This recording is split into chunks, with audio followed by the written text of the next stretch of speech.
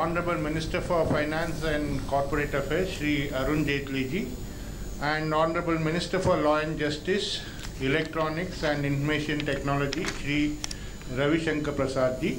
They'll brief you on the decisions. Meanwhile, as usual, kindly follow the points of order, especially when you ask questions, ask one by one. And a gentle request, keep your mobiles on uh, switch off or silent mode. Over to the Honorable Minister. आज केंद्रीय मंत्रिपरिषद की meeting बैठक थी। कुछ प्रमुख निर्णय जो वहाँ हुए।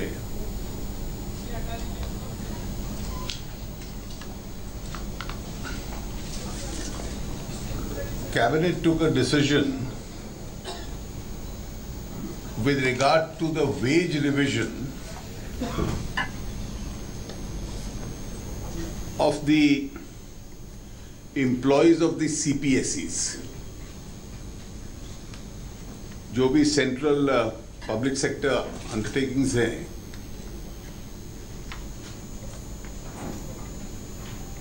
ये कुल मिलाकर 320 320 सीपीएसईज हैं,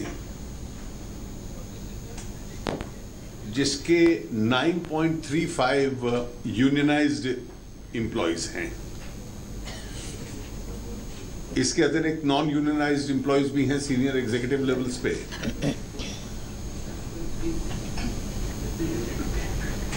Nine point three five lakh तो एक एनेबलिंग डिसीज़न होता है कि हर सीपीएससी अपने एम्प्लॉयज़ के साथ वेज नेगोशिएशंस आरंभ कर सकती है। कुछ सीपीएसईज में ये पाँच वर्ष के लिए वेज नेगोशिएशन होता है, कुछ में दस वर्ष के लिए होता है हर सीपीएसई को फ्लेक्सिबिलिटी है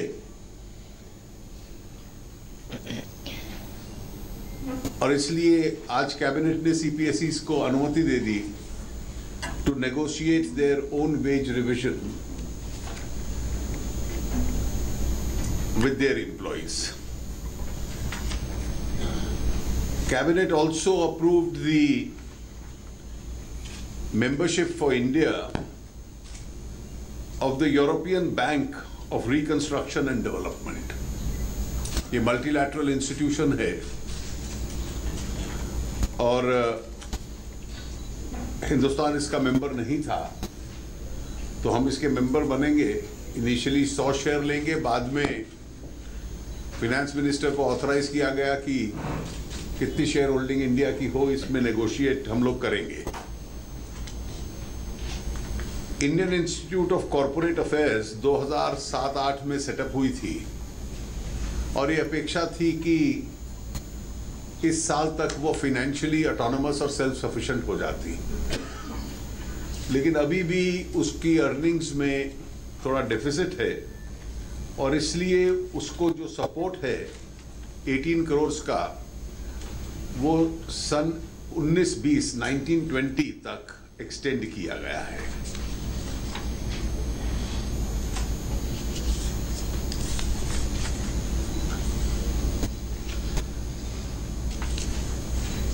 फिफ्टींथ फाइनेंस कमीशन पंद्रवा वित्त आयोग, ये फाइनेंस कमीशन संविधान के आर्टिकल 280 के तहत इस्टेब्लिश होता है। और आर्टिकल 280 के तहत फाइनेंस कमीशन सेंटर और स्टेट के बीच में रेवेन्यूज कैसे डिवाइड होंगे, इनकम, ये तय करता है। हर पाँच वर्ष फाइनेंस कमीशन का, की रिकमेंडेशन ऑपरेट होती हैं। पिछली रिकमेंडेशंस जो थी, वो फ़र्स्ट अप्रैल 2015 से लागू हुई थी। और अब वो 31 मार्च 2020 तक चलेंगी। ये चौदहवा फाइनेंस कमीशन था fourteen finance commission. So fifteenth finance commission recommendation have to be in place before the 1st of April 2020.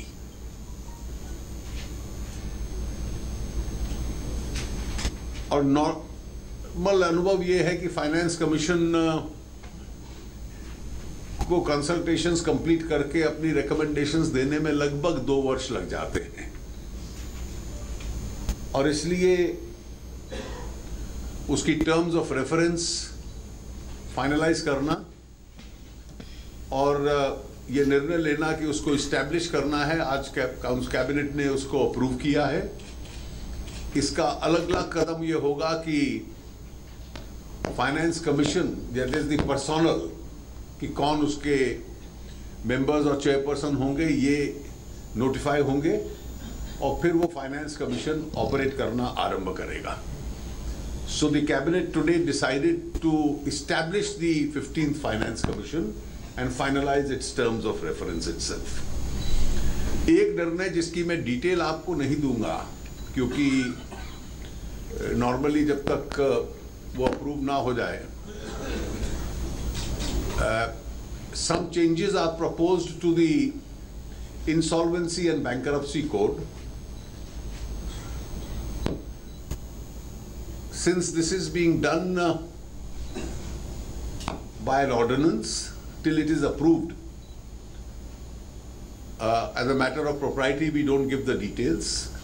But the fact that the cap, cap, cabinet has recommended uh, to the president is an information that I am giving you. Uh, there are two other important decisions which uh, my colleague and friend Ravi Shankar ji will brief you. आज cabinet ने एक महत्वपूर्ण फैसला लेते हुए high court और supreme court के जजेस की सैलरी को रिवाइज करने का फैसला किया है सेवेंथ पे कमीशन के रिकमेंडेशन के बाद इस विषय पर चर्चा होनी थी। आज जब सरकार ने फैसला किया है तो अब, सुप्रीम कोर्ट जजेस कंडीशन ऑफ़ सर्विस एक्ट 1958 और हाई कोर्ट जजेस कंडीशन ऑफ़ सर्विस एक्ट 1954 में हम अमेंडमेंट करेंगे, क्योंकि जजेस की सैलरी के बारे में कोई भी फैसला by a proper legislative instrument होता है तो उसको अमेंडमेंट करना पड़ता है। ये जो बेनिफिट है ये एक जनवरी 2016 से दिया जाएगा। The benefit of pay revision shall be given with effect from first of January 2016 and the benefit shall extend to 31 judges of the Supreme Court, 1079 judges of the High Courts, and about 2,500 retired judges. So this relates to salary, pension, sumptuary allowance, house allowance, everything in detail. तो ये इकतीस माननीय उच्चतम न्यायालय के न्यायमूर्ति एक हज़ार उनासी माननीय उच्च न्यायालय के न्यायमूर्ति और 2500 अवकाश प्राप्त न्यायमूर्ति ये इसका लाभ उनको मिलने वाला है और ये हम जल्दी ही सत्र में संशोधन के लिए कार्रवाई करेंगे, बिल लेकर के आएँगे।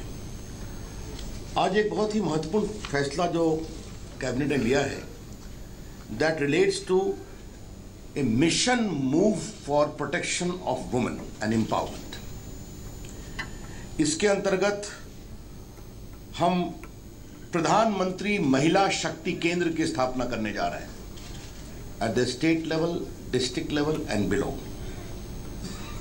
और इनका काम होगा महिला कल्याण और महिला एम्पावरमेंट इसके लिए जो भी योजना चल रही हैं, उसमें जन भागीदारी हो यंग वॉलेंटियर्स का इन्वॉल्वमेंट हो, और ये सारी प्रो वुमेन और प्रो गर्ल चाइल्ड इनिशिएटिव को सत्रह, अठारह से उन्नीस, बीस तक एक्सटेंड किया गया है। इसमें महत्वपूर्ण बात यह है टोटल फिनेंशियल आउटले है तीन हज़ार छह सौ छत्तीस करोड़ का, जिसमें भारत सरकार का सहयोग है तीन हज़ार चौरासी crore. Out of the financial outlay of three thousand six thirty six crore the central allocation is three thousand eighty four crore अब इसमें मैं बता दूँ कि बेटी बचाओ, बेटी पढ़ाओ, इस कार्यक्रम को हम 640 जिलों में और फ़ेज़ रूप से नीचे लेने जा रहे हैं। उसके बाद हम स्टूडेंट वॉलंटियर्स को इनवाइसेज करके 115 जो बैकवर्ड डिस्ट्रिक्ट्स हैं, उसमें हम सबसे अधिक इन्वॉल्व करने जा रहे हैं एनसीसी और एनएसएस के अलावा। तो बेसिकली तीन लाख हम लोग स्टूडेंट वॉलंटियर्स को pro women pro girl child initiative को मज़बूत करने के इन्वॉल्व करेंगे। एंड प्रधानमंत्री महिला शक्ति केंद्र at the ground level at the district level at the state level ये उसके कोऑर्डिनेट करके काम करेगा। आपको मालूम है कि हम लगभग छः करोड़ ग्रामीण लोगों को डिजिटली लिटरेट करने जा रहे हैं। तो ये जो पूरा आंदोलन है, अधिक से अधिक हमारी महिलाएँ भी डिजिटली लिटरेट हों, जो परिवार की मुखिया हैं तो उसमें भी इसका एक विशेष ध्यान होगा। इसमें एक सबसे बड़ी बात यह है कि हम 190 मोर वर्किंग वुमेन हॉस्टल की स्थापना करने जा रहे हैं, इस कार्यक्रम के अंतर्गत, जिसमें उन्नीस हज़ार एडिशनल वर्किंग वुमेन को रहने की जगह मिलेगी तो कहने का तात्पर्य यह है कि बेटी बचाओ, बेटी पढ़ाओ, बाकी डिजिटल लिटरेसी स्कॉलरशिप वेलफेयर और इन सबों के साथ एक people involvement two three lakh volunteers ये एक बहुत बड़ा आंदोलन का रूप है। इसलिए प्रधानमंत्री महिला शक्ति केंद्र के रूप में इसको हम आगे बढ़ाएँगे। आपको मालूम होगा कि माननीय वित्त मंत्री जी ने अपने पिछले बजट भाषण में महिला शक्ति केंद्र की स्थापना की बात की थी। तो ये उसी कल्पना के अनुरूप ये पूरा प्रस्ताव है, जो मैंने कहा कि सोचा आपको बता दूँ। It will be properly monitored तो नीति आयोग का भी इन्वॉल्वमेंट होगा। वेब बेस्ड मॉनिटरिंग होगी। तो सिर्फ़ डिजिटल लिटरेसी नहीं होगी डिजिटल मॉनिटरिंग भी होगी। एक प्रकार से सेक्स रेशियो को चेंज करने में ये एक बहुत बड़ा आज का क्रांतिकारी कदम है। तो हमने कहा ये दूसरा विषय था बाकी तो एक रूटीन विषय लेकिन एक विषय मुझे आपको अंतिम विषय बताना है बाकी तो प्रश्नों रूस के साथ आज हमने एक बहुत बड़ा निर्णय किया है जिसके अंतर्गत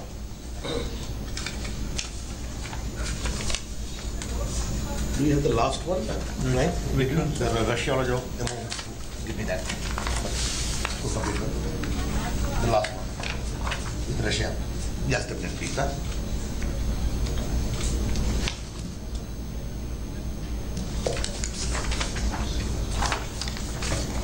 आज हमने India Russia agreement on cooperation in combating terrorism and organise crime ये एक बहुत बड़ा फैसला हुआ है कि रूस के साथ हमारा एक एक्स्ट्रॉर्डनरी कोऑपरेशन चले आतंकवाद को रोकने में और जो संगठित अपराध होता है उसको रोकने में तो इधर आप देख a very extraordinary initiative has been taken by the government and the cabinet today to have Indo Russian agreement on cooperation for combating terrorism and combating organise crime जिस तरह से आज इंटरनेशनल टेरर बढ़ रहा है ऑर्गेनाइज क्राइम के स्वरूप आ रहे हैं साइबर चैलेंजेस आ रहे हैं this particular cooperation is very important Thank you, sir. Thank you, sir. Yeah. Uh, well, well, I'll take as many as possible. Just have patience. Yeah. Uh, one. Sir, uh, two questions. Uh, On the Finance Commission, uh, by when can we know who all will be the members and why, uh, how, b- by when will it start working the- on the terms of reference? Well, today eh, we've uh, taken an in principle decision uh, constituting the commission and finalize the TOR. And uh, you can take it that the members will be appointed uh, very, very soon. Secondly, on the IBC, as you said, on the ordinance, uh, there was a lot of rumor that uh, this ordinance will actually pave way for limiting uh, d- uh, willful defaulters from picking up stressed Well, I assets. won't, I won't react on the contents because propriety is still, come it's a recommendation made to the president. And uh, uh, uh, till it gets the assent of the president, we normally don't speak about Just the it. rationale for why you brought in ordinance, Yeah. because you called a session of parliament, that what you can explain to us that? You see, it's at, a- the, the whole process is at an advanced stage. And therefore, you want to, the process to go on on a correct track. That's the reason. My answer is the same, very, very soon. Sir ए- एक minute यार ऐसे नहीं चलेगा ना one by one Sir fourteen और fifteen finance commission के terms of reference में सबसे बड़ा डिफरेंस क्या होगा? क्योंकि बहुत कुछ चेंजेस आए। देखिए बहुत परिवर्तन आए हैं। स्टेट्स के और सेंटर्स के दोनों के एक्सपेंडिचर पैटर्न्स बने रहे और जो नया डिस्ट्रीब्यूशन ऑफ़ टैक्सेस सिस्टम हुआ है उसका क्या प्रभाव पड़ता है स्टेट्स और सेंटर के फाइनेंसेस पे? वो फाइनेंस कमीशन को देखना पड़ेगा। और स्वाभाविक है कि पुराने फाइनेंस कमीशन की तुलना में इस बार थोड़ी सी एक्सरसाइज डिफरेंट भी होगी। Because after the G S T it's no longer the same pattern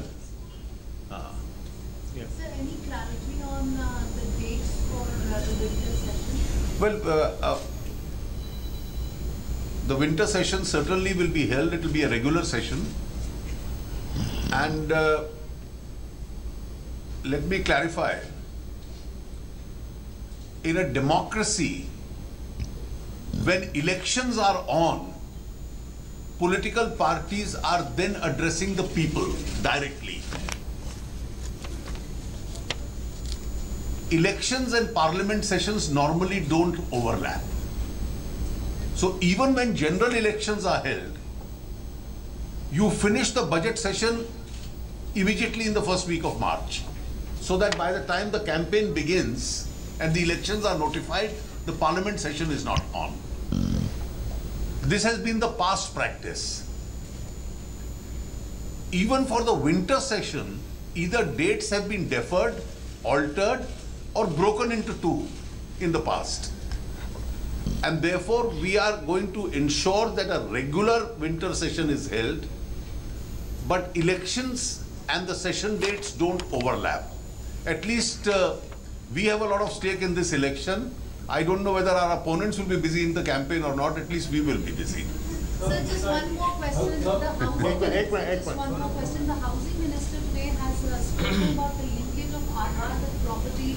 Uh, You know, just uh, some clarity on how uh, this, when can we expect this coming in and uh, the kind of I, I won't be able to answer this question in Yeah, one minute, please. I think. Sir, since the reports are doing the round that the CCPA today met and to session between 15th of December to 5th of January. Now, my question is, my question is different, sir. What will happen to the joint presidents, joint judges with the joint president as as the new session of the calendar year starts with the joint session? No, no, this is already settled. This is settled long ago that once the winter session spills over into January, it is not the first session of that season. Yeah, please. Sir, in the changes to the IBC code, will there be just amendment or some action of uh, some clauses also? Well, you wait for the ordinance. Yeah. Sir, I have uh, two, two questions, both addressed to you. You had written to Mr. Ravi Shankar Prasad in 2016, November, December, for the judge's salary. We are now nearly one year behind. What is the delay for why the judge's salary has taken so long to move up bill because this will have to be passed in parliament? What happens to members of parliament and their bills and their increase of salary because that will be pending in the prime minister's office? And on the second point, uh, regarding the Kerala chief minister, you all have decided to go ahead and uh, uh, file an SLP against his acquittal.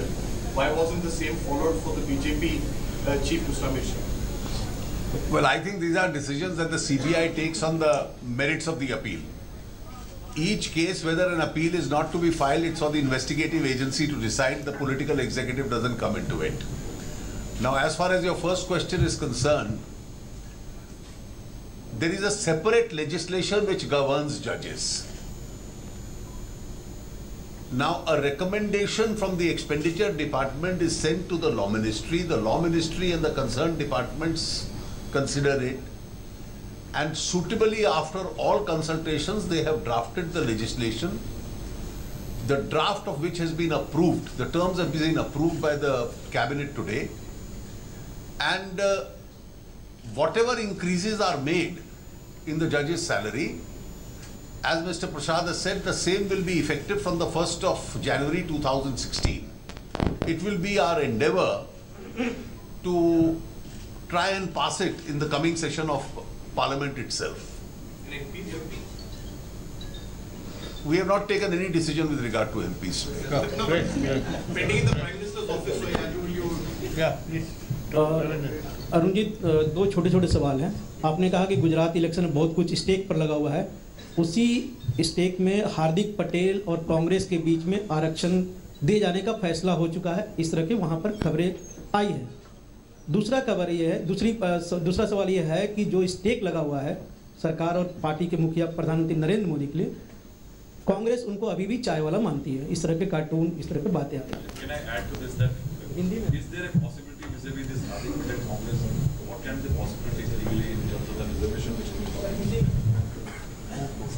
देखिए from the statements that I have heard मैं दोनों भाषाओं में बोल दूँगा from the statements that I have uh, seen so far, the Congress Hardik Club is one of mutual deception.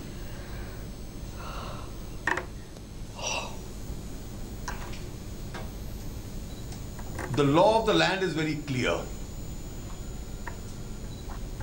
And that's laid down by the Supreme Court. And only last week in the Rajasthan case, it has been reaffirmed that the 50% cap can't be breached. So they can continue to mutually deceive each other and deceive the public by saying that we will devise a methodology of breaching the cap. Legally and constitutionally, that is not possible, as the law stands today. You can cite Article 31C and say we will put it in the ninth schedule, but that entry into the ninth schedule also is subject to judicial review, which is subject to the challenge on basic structure. And therefore, in elections, only those promises can be made to each other and to the public which are capable of implementation. Otherwise, you deceive yourself and you deceive your constituents.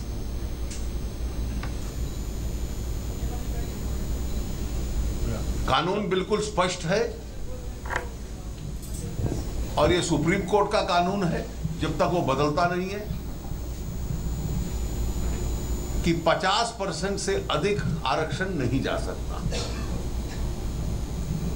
मेरा सवाल कानून और इसलिए 50 percent की सीमा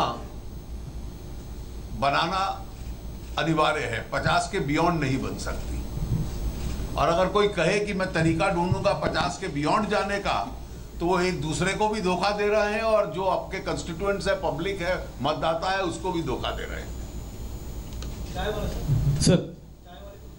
देखिए ये बहस पहले भी हो चुकी है। और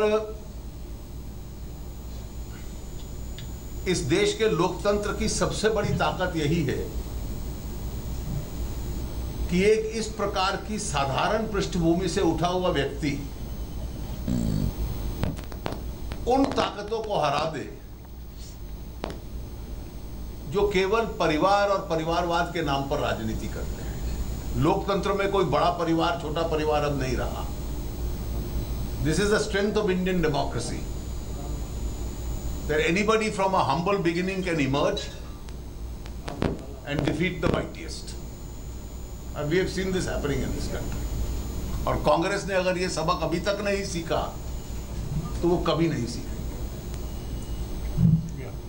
सर मेरा सवाल कानून मंत्री जी से रवि जी क्या तीन तलाक के मुद्दे पर सरकार कोई बिल लेने लाने जा रही है शीतकालीन सत्र में इस संबंध में कोई आगे की कार्रवाई होगी तो आपको विस्तार से बताया जाएगा Please सर मेरा सवाल अरुण जी आपसे है कि जहाँ तक कश्मीर मुद्दे से डील करने का सवाल है एक नीति सरकार की है। क्या उसमें कोई परसेप्टिबल चेंज दिखाई पड़ रहा है? क्योंकि रिपोर्ट्स ऐसी आ रही हैं 2016 के जो स्टोन बेल्टर्स हैं उनसे केसेस वापस ले लिए जाए। सरकार की नीति वहाँ सामान्य स्थिति लाने की है। और सामान्य स्थिति लाने के लिए कब क्या कदम उठाना चाहिए? सरकार उसके अनुसार चलती है। एक स्थिति थी कि सिविल डिसोबीडियंस पीक पर था चरण सीमा पर था। स्टोन थ्रोज हज़ारों की संख्या में आते थे। टेररिस्ट अपना टारगेट जब चाहे चुनते थे। हुरियत जब चाहे अपनी कॉल देती थी और पैरालाइज करती थी। आज स्थिति में परिवर्तन आया है। आज सिक्योरिटी फोर्सेस का अपर हैंड है। स्टोन थ्रोर्स के लिए क्राउड इकट्ठा कर पाना कठिन हो रहा है। हुरियत का नेतृत्व अपने आप में एक्सपोज हुआ है। और इस स्थिति में सरकार अपने नए इनिशिएटिव्स बातचीत के माध्यम से जो लोग बातचीत करना चाहें, सामान्य स्थिति लाने के लिए प्रयास कर रही है। अब क्या क्या प्रयास वहाँ चलते हैं, वो राज्य सरकार और केंद्र के जो स्पेशल रिप्रेजेंटेटिव्स हैं, वो तय करेंगे उसमें। Sir Rituparna from C N C sir to you right sir this we have seen that successive finance commissions has led to higher Uh, going forward, uh, will the next finance commission also lead to a greater devolution to states in the backdrop of uh, change in tax laws, including GST? Well, I think uh, let us not prejudge the situation. Uh, India is a union of states. Uh, the union also has to survive.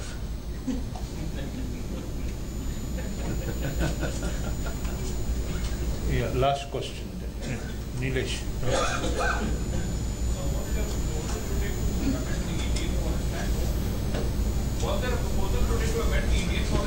Well, there is a suggestion, you will hear about it. uh,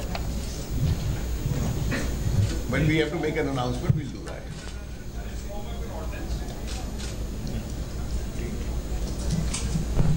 So, uh, we'll conclude this press conference. I thank the honorable ministers for their presence and time. Thank you, friends. Thanks for being here.